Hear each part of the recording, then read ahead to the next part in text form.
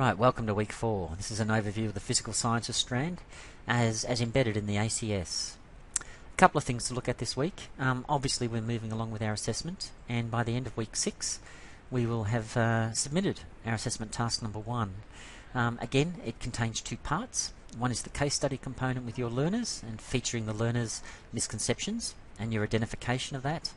And part B is your response to that as a teacher, your learning sequence.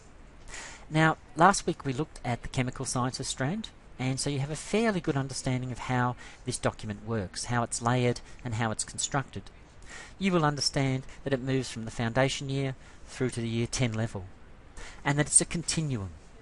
Embedded in that document are a series of scientific themes, known as strands. Those strands are broken down into understandings, or conceptual uh, uh, uh, models, and those conceptual models are scaffolded over different year levels. Your assessment task actually tests how well you've understood that scaffolding. For instance, I have had emails from students talking about using exercises involving gravity at year 2 and 3 of the curriculum.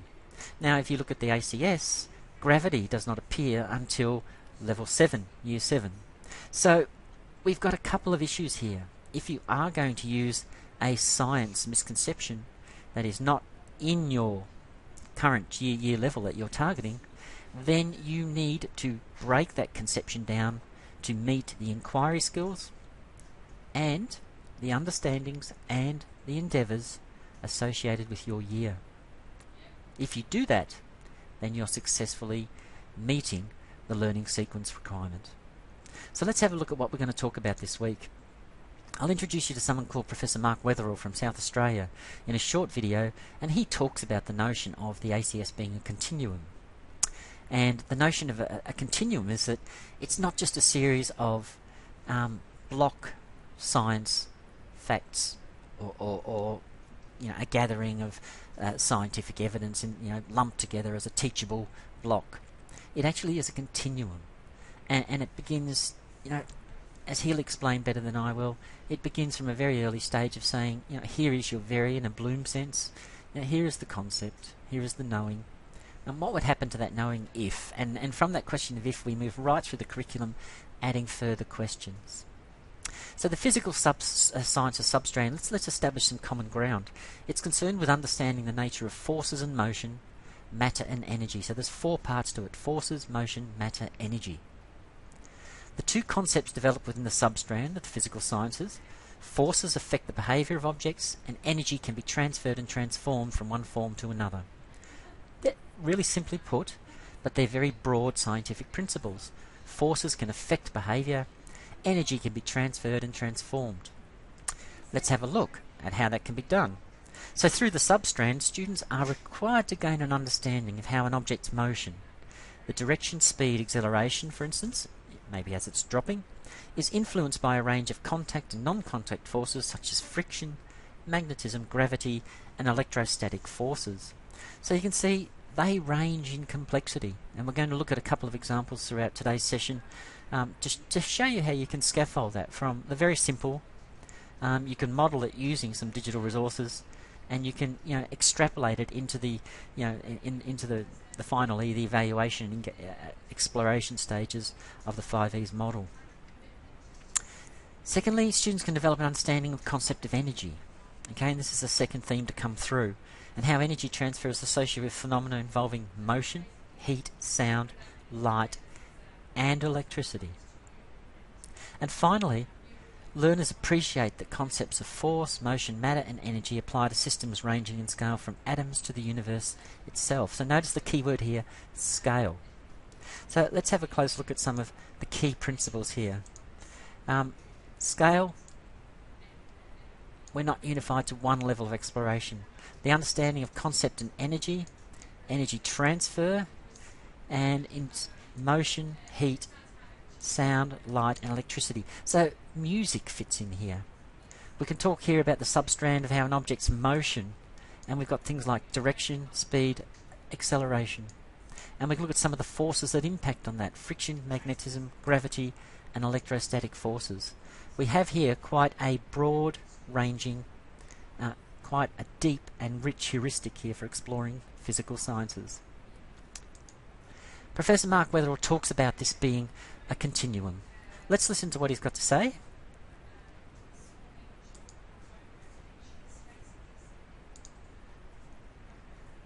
Let's listen to what Professor Mark Weatherall's got to say about the notion of a continuum. And again, he's talking here about the ACS, about um, a composite class, about multi-age learning, but also breaks it down to look at how the ACS can help differentiate between learner abilities and learner needs.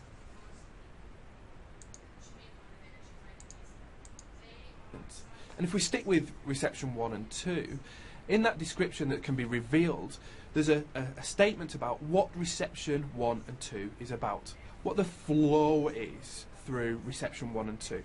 And it really talks about it being about observations, patterns, and then predictions. That's that flow that runs through it. And then in each of the year level descriptions, it unpacks that for particular years. So in the foundation years, it unpacks it. And in the foundation years, what it's really saying is, um, what, what, what have you noticed? What have you seen? What have you heard? What have you, what have you felt? What did you, what did you observe? What did you notice in that process? As we go through and go through into year one, we're still talking about that overarching observations, patterns, and predictions. And so the focus in year one is about the patterns. And really what that's saying is, what do you think? What do you think about that? What does that make you think? You know, what, what, what's, the, what's going on there? What's really going on there? Um, a, a little bit of why do you think that's happening? What are you wondering? And then as we go through into year two, we've got that same statement about observations, patterns, and predictions. And now where we're going with the year uh, twos is to ask some questions about, well, what do you think if? What do you think would happen if? What do you think would happen if we change things? What do you think would happen if things were, if something was different, if you did it in a different way? Um, we're starting to ask some questions about predictions. You know, how could we transfer this thing that we've been thinking to something else? And so what we're seeing is that you don't have to compartmentalize it into reception one and two. You can actually take that theme that the Australian curriculum has given us right across reception one and two and do it with our composite class. And so we might be focusing with the receptions on what did you notice? We might be focusing with the year ones on what did you think? And we might be focusing with the year twos on what do you think if? What do you think if things were different? To make some predictions and to think about the future, to anticipate changes and, and other applications. But they're all having a shared experience, but learning, the learning intent for each of them is slightly different. And so those themes through the Australian curriculum really allow us to see where the curriculum is going, where the intent of the curriculum is going, and to make that work for our composite classes. If we haven't got composite classes, and we've just got that year one class, it also gives us a, a, view of where we're coming from and where we're going to. And so rather than this learning being that fragmented, standalone learning, it's much more part of a, of a learning narrative, much more part of a learning journey.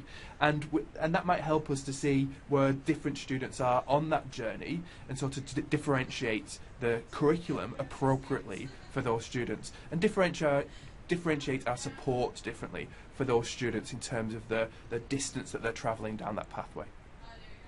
That's a really, really useful insight, isn't it? That the Australian curriculum is in fact a continuum, that it's about teaching from a particular place, teaching to a particular place. Along that, we are going to find content and stage appropriate materials and resources, and we're also going to find how we as teachers need to target multi age and multi abilities within that framework. It could be within the one year, it could be across year levels, but the reality is this is not a block model, the Australian curriculum, it is a continuum. It's a sequence. And in your learning sequence for assessment task number one, you are going to need to demonstrate also through questioning and through the structure of your learning sequence how your misconception, how your teaching of a misconception um, has been correctly located within the ACS and also how you're actually targeting things like uh, multi ability groups and differentiation of learning within that. So, you know, you are going to reveal to yourself, for instance, that there will be groups within your class group that this resource really needs to target and, and target explicitly and well. So the learning outcomes from the week four um, is basically to locate the physical science understandings in the Australian curriculum and know where they are. Describe some creative ways that physical sciences can be explored in the classroom. And identify some common misconceptions from the chemical and physical sciences, which basically make up um, the physical sciences framework. The key terms physical science is the study of the nature and properties of energy and non living matter. Misconceptions, where, where something's been partially understood or has been completely misunderstood. Again, it's another continuum, and we work within continuums. As Vygotsky said, we work within zones. And a misconception of a misconception. This is one I've added in hindsight, because I'm, you know, I'm really just alerting you here to the fact that you can misconceive where your misconception is located. So make sure you're checking that you're dealing at the right stage of the ACS with your approach, and that you're dealing in the right science understanding. Um, and this really is your responsibility to locate and determine. So, you know, again, we don't really want to see people exploring gravity at year three when it appears at year seven, unless, of course, you can link that to one of the key understandings that you need to develop at the year three level, one of the elaborations embedded there. So, if you're going to use gravity at year three, make sure you explicitly link it to an elaboration and that your learning sequence explores that elaboration in considerable depth and detail. Now, there's a range of ways to target um, the ACS, and you develop in, in, in, Assessment Task 1 Part B, um, the physical sciences is huge, and some of us have a real block, for instance, to chemical sciences. Um, some of us have real block to, you know, exploring circuit boards. Um, all of these Let's break them down to really quite simple sciences if we can. Scootle does this well, another reminder of just how useful Scootle is.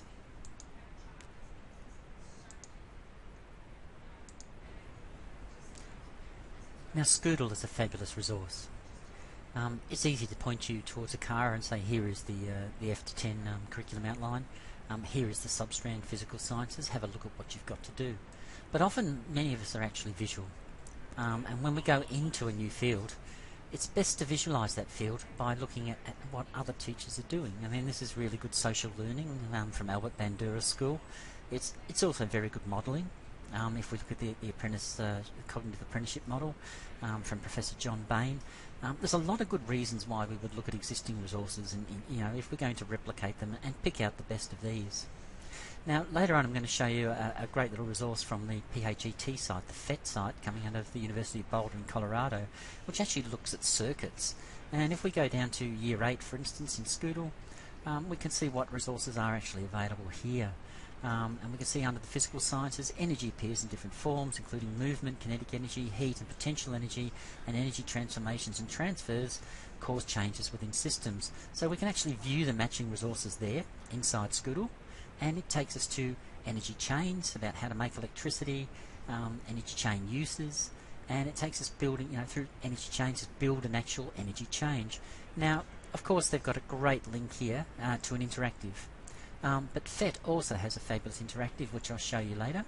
So when we go to look at this interaction here, and you can see the nice thing is that it, it, it talks about the standard to which you're actually working, um, and it gives you a really good chance to view the resource and it also gives you additional teacher information um, on the resource and um, as you can see there it gives you the educational details, the strands in which it, it sits and all of the topics which it actually deals with electricity, energy conversion, natural resources and renewable energy. So you can see it's quite a rich resource.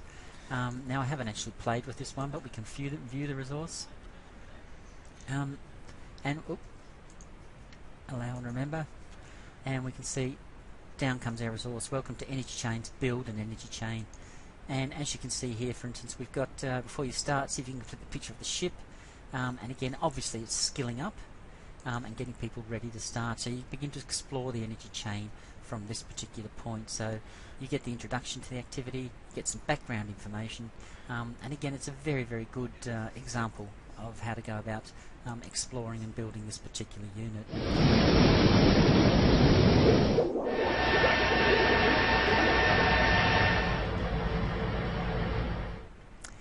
And once you've got this power station up and running, of course, you're then able to start the activity. And again, get your navigation strategies right. Please have a really good look at these. Um, they're fabulous resources. And again, I'll put up a little short video later of the similar resource, um, which has got to do with electricity and electric circuits in the um, uh, uh, PhET um, side, which of course is a more traditional form of science. Now, the reason why I put uh, this little example in um, is obviously it's up here. It's linked to the primary connections learning sequences.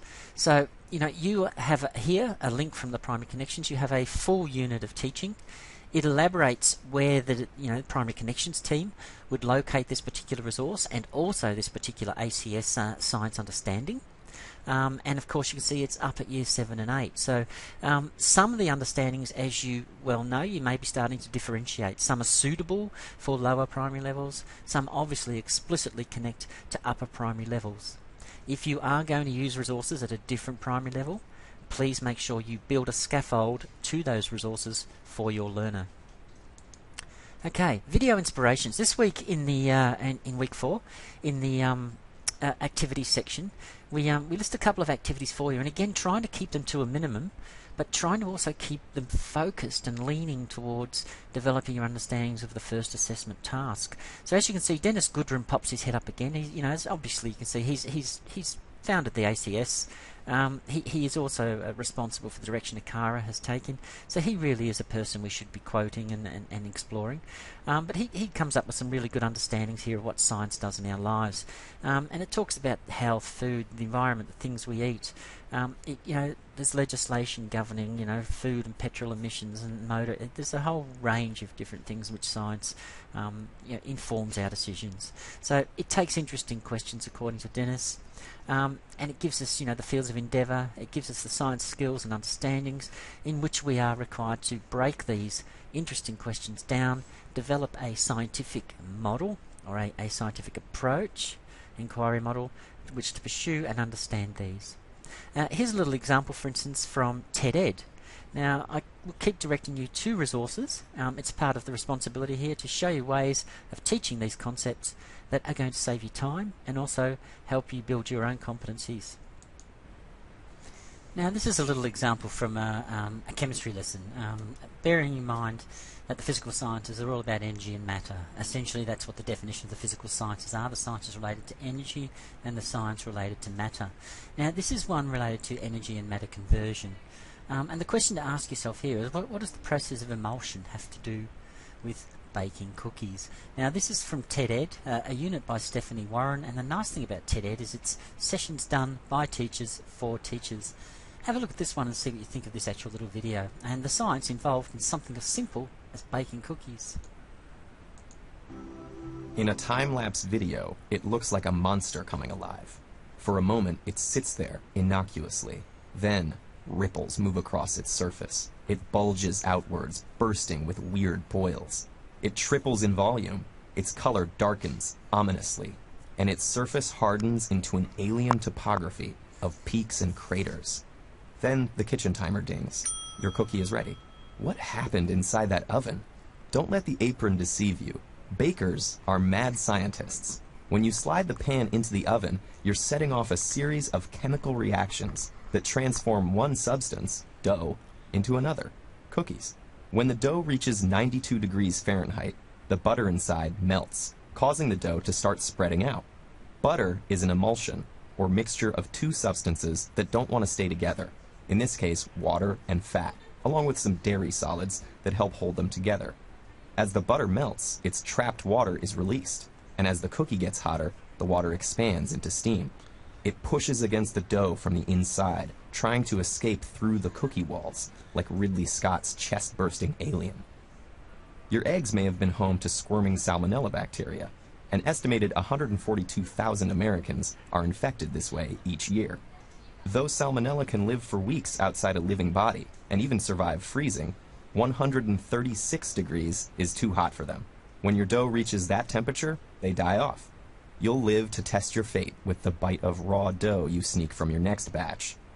At 144 degrees, changes begin in the proteins, which come mostly from the eggs in your dough. Eggs are composed of dozens of different kinds of proteins, each sensitive to a different temperature. In an egg fresh from the hen, these proteins look like coiled up balls of string.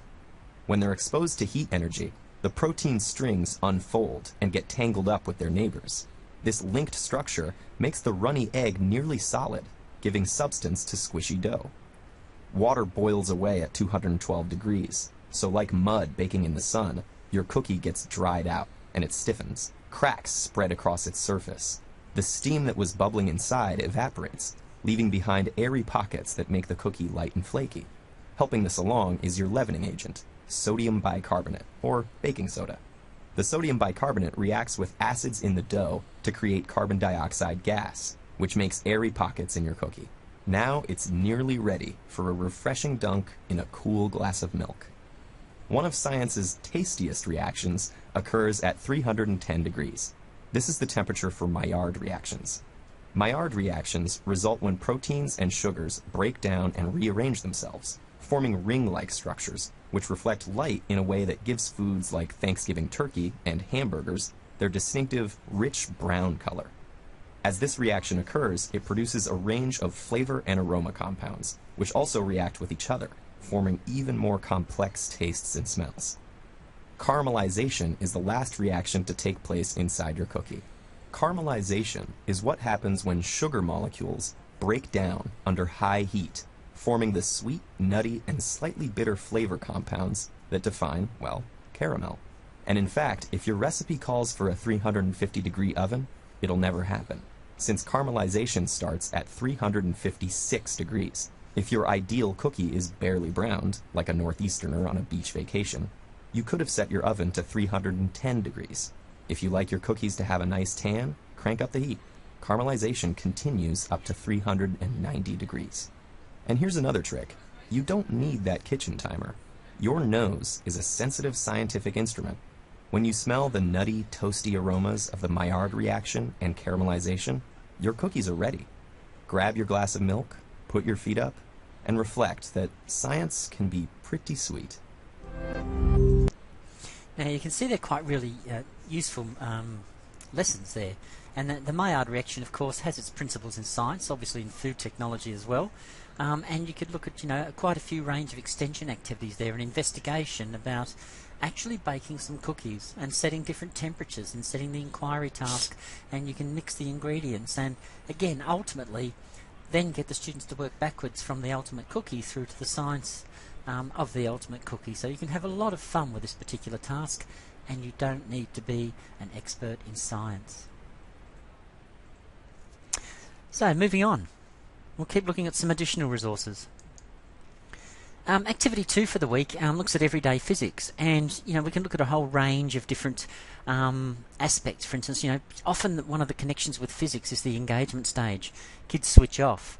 However, if you don't tell them it's physics, they you know they then start to engage in smaller um, uh, little examples. Here's one, uh, John Travoltage, which actually looks at the whole notion of static electricity. Now, when we thought about some everyday um, uh, physics exp- experiments or everyday physics phenomenon, um, some of these that came up, um, shocks from the car door, curving a football kick. Now, there's a brilliant video in in in, uh, this week's resources. Um, I give you a hundred free uh, uh, science lessons. In there, you'll find a brilliant one on just how to curve a football, the science and physics of curving a football the poles of a magnet, outboard motors, mobile phones, microwave oven, and of course some great resources on music for kids if you're working across uh, a talented uh, arts group. But John voltage, let's have a look. Now, this little example here is uh, one by the name of John voltage. In John Travoltage, students can explore ideas about static electricity. In particular, what happens when you touch a doorknob and feel, or even see, a spark. We can rub John Travoltage's foot against the rug, resulting in excess electrons on his body. He can then get a spark by bringing his hand close to the doorknob. Yeah. You can use our other sim, balloons and static electricity, to compare this behavior to that of a charged insulator. When John Travoltage rubs his foot against the rug, electrons are transferred from the rug to his foot. This leaves behind excess positive charges on the rug, which aren't shown in this sim. You might ask students to predict what will happen when only a few electrons are on his body. In this case, there is not a large enough electric field to ionize the air between the doorknob and his hand. So let's rub his foot some more. Electrons repel each other, so they spread out rather evenly on his body. In reality, they would not be quite so clustered on his leg. As electrons accumulate, an electric field is developed between his finger and the doorknob. This electric field strength increases as we bring his finger closer to the doorknob, until the point where it's strong enough to ionize the air. The lightning bolt shows where electrons flow from his finger to the doorknob. You can ask students to explain how the spark is affected by the amount of charge accumulated and the distance between his finger and the doorknob. If we accumulate a lot of charge, the electric field is quite large, and we can get a spark even when his finger is quite far from the doorknob. But with a small amount of charge, we need to bring his finger quite close to the doorknob to get a spark. You might also challenge your students to explain why John only says ouch sometimes. What the body feels is the current, or the rate of flow of electrons from the finger. With just a little current, John doesn't mind so much. For a large current, we need a large number of electrons and a large electric field to make those electrons flow quickly. John feels that one. If you don't have enough electrons and they're not flowing quickly enough, you don't get that satisfying ouch. Yeah. Have fun shocking John Travoltage. Now you can see those resources come from PhET, um, which is a free um, resource uh, available to teachers from the University of Boulder, Boulder, Colorado in the States. Now I do like the PhET resources and I do encourage you to think about using them as much as you possibly can. Obviously you'd look at the sim page and you'd look at the extensions between John Travoltage and how that may connect for instance to things like clouds and thunder and lightning and raising the question can lightning actually strike twice in the same place? All of these are really, really good science investigations for you to consider. And just to remind you, PhET is free. Um, so if you just Google PhET, um, you will need to register, but um, it does give you access to some tremendous resources, and they all come with an embed code. So if you're using a blog or a wiki, you can actually just embed that particular resource into your wiki, and your students have access to it all the time. And you can see it, it gives them some extension, you know, some real extension opportunities without them leaving the room. A, a couple of emails from students have really concerned me. So this this assessment task, this activity comes in really really well at this point in time. Um, it's about mapping the ACS and some of the common misconceptions that we're we're getting uh, exposed to here. Um, and for instance, you know, the moon only appears at night. We here we've tried to come up with the the, uh, um, the science understanding. Uh, or the substrand, and you see Earth and space, and it's across multiple levels. So again, that's quite a generic one to do. Diamonds are indestructible. Again, comes up in the chemical um, uh, understandings um, or strand, substrand. Boats are made of materials that float. Again, comes in the physical. Uh, no mammals lay eggs. Again, biological. Um, and we can see that you know the year levels to which these pertain. Um, it's really important to get your misconceptions right. So please have a close look at these. Um, you know, year levels one and four. Um, there's some great resources also in TED Ed on, on sharks. Um, you know, really brilliant stuff on, on the fact that sharks eat people. You know, it's a misconception. Um, please have a, have a you know really good look at these tables because it gives you some breakdown um, as to you know, where your ACS should be focusing. And again, to, to, to be successful in Part B of this assignment, your learning sequence is going to have to be you know correctly age and ability pitched. So it's going to actually have to address a misconception that's relevant to a curriculum level to justify your warrant of teaching it. Because if you're teaching something outside a curriculum level, then clearly you've got no warrant to do that. You know, so it does challenge what you're doing, and you need to make sure that at the moment, if your misconception is not entirely lined up to the, your, your level, make sure you go to the elaborations in your particular substrand and look at what those elaborations are and line them up Okay, it's up to you to do that.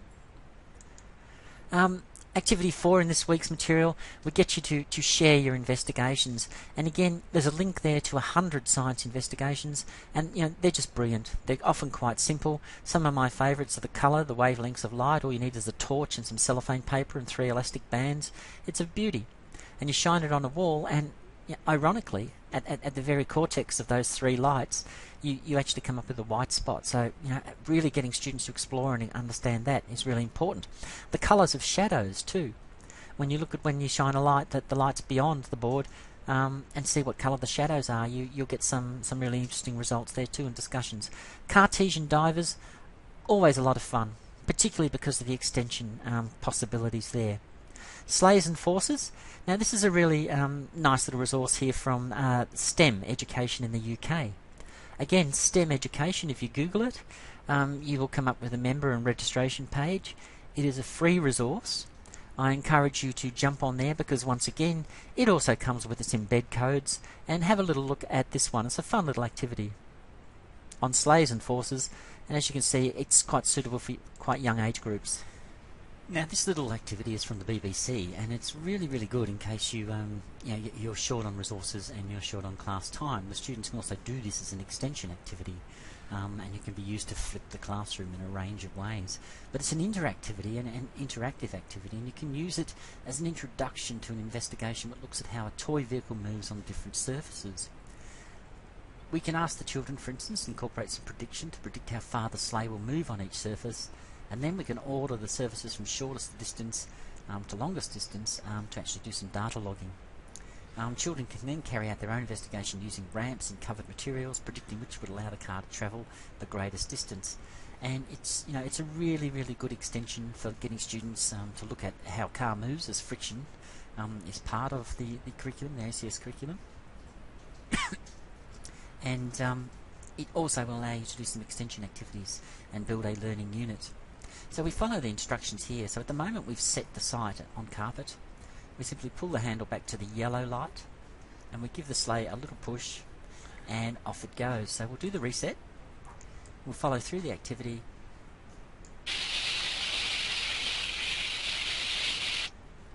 And we can see there something happens. We do a reset this time. Pull the red handle back to the yellow light. We flick on pull the round handle back to the red light to give the sleigh a bigger push. So we'll see how it goes.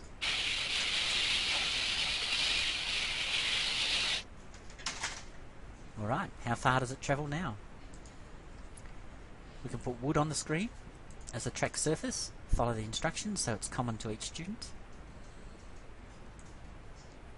We give it a little push. We First of all, have to do a reset.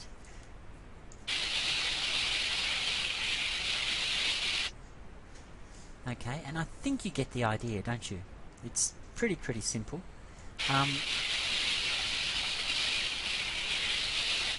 and a stronger push, we get a stronger distance. And again, so on. It takes you through carpet, um, and then go back to ice, and obviously we can look, what do you think? With the same push, the sleigh travels different distances on different surfaces.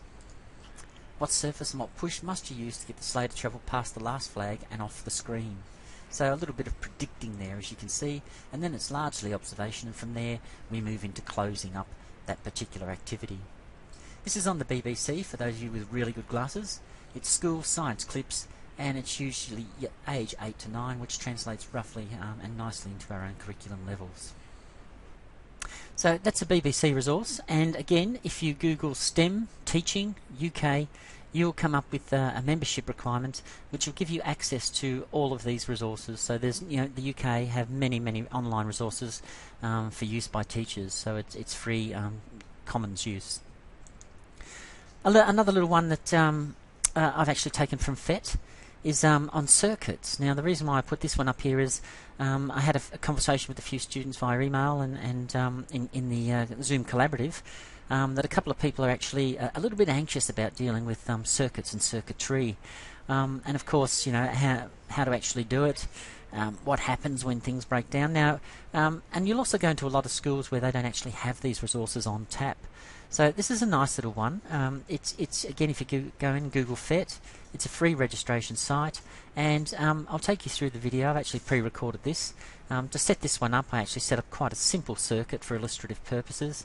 Um, you can do much much more with this than I've done. It's just, to, again, to show you the capacity of it and the sorts of things you can do. So let's have a look at the video. And, you know, it may be something that you wish to use or that you could use in your teaching. Um, or if you are teaching another unit on electricity, it may be something you do as an extension student, uh, extension resource for some of your um, uh, fast or, or elaborate learning students. As you can see, what I've done here in this little site, this comes from PhET, P-H-E-T, which is a, a, website coming out of the University of Boulder, Colorado. Now, the reason why I'm promoting this one is A, it's, it's free and it's available to all of you, and B, PhET has hundreds, literally hundreds, a thousand, three thousand, I think they have, um, of these kinds of resources, and they're really, really good. I mean, you can see that this one here actually is all about circuit building.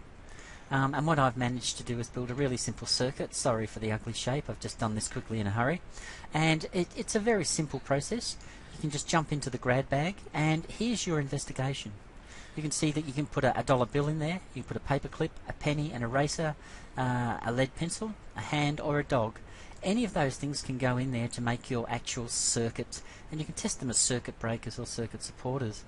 Here we've got a resistor. It's really important again when you build a circuit you don't put your resistors in depending on the energy you've got going through here, the voltage and the ohms. Um, you'll actually be creating fire. So it's really important to you know think about how your system's going to work. Your battery, and when we look at all of these different things, you can put your battery, for instance, you can take a battery and put it in place. Right mouse click, you can change the voltage, you can change the resistance, you can reverse the polarities, um, or you can show the value of that particular battery. So it's a 9 volt battery at this particular point in time. We can then also delete it if we no longer wish to move it. Now you can see simply by manipulating these variables and building your own circuits that you can actually test students' understandings of circuitry even though you don't have the equipment there on board to do it at that particular time. So if you've done an in-class investigation or you're building up to one, this is a wonderful simulation to enable your learners to learn a little bit about basic circuitry and energy flows. And you can see it's all free. You can get on there and once you've played with it for five minutes yourself, it becomes really quite simple and you can then start to use it to set up some pretty basic science investigations. Now this is a really good one because, um, again, talking about misconceptions, we're talking here about um, you know representations. What, what what does electricity look like? Now, in the week three online lecture, um, we had a few representations of electricity, um, and some people draw it as balls, some people draw it as lines, some people draw it as jagged lines like lightning. Um, there's a whole range of ways of visualizing electricity. The, the, nice thing about some of these PhET resources is they actually allow you um, to visualize and they allow the learner to visualize and they support or they challenge um, learner representations. So if the learner is right off with their concept of what electricity may look like as it flows, then these kinds of activities actually help correct, help you know, help realign that misconception that the learner has. And then they can get in there and actually play with some of these tasks um, and, and you know work out how these systems work together. So this is one resource that could go up and down the age level in the curriculum. So even though electricity doesn't really occur till in the, the upper primary and, and, early high school years, um, you can actually use this resource to explore energy flows and, and models of energy. So um, it you know it, it's one of those ones that can help you um, address misconceptions, even though you know electricity is not really a, um, a, a concept that you would explore in, in you know mandatorily in the early stages of the ACS. So some resources will enable you to um, build in some scaffolding as you go through. So this week was largely about the uh, uh physical um, sciences. Um, it was an overview of um, the uh, um, framework, the ACARA framework, um, and along with that overview, um, we've tried to tie it pretty much into assessment task number one, part B, where you're um, designing a learning sequence which is meant to be, and hopefully destined to be, um, you know, accurate, um, accurate to age, suitable for different abilities, and able to differentiate, able to allow you as a teacher to, to develop differentiation strategies in your teaching of that misconception. And there is no need to overreact.